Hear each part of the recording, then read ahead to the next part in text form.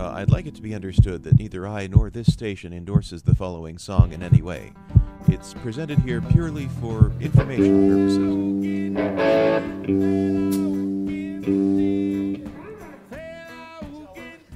You know, it's funny sometimes how so many mistakes seems to get across to people to a country that that is so far advanced in the world.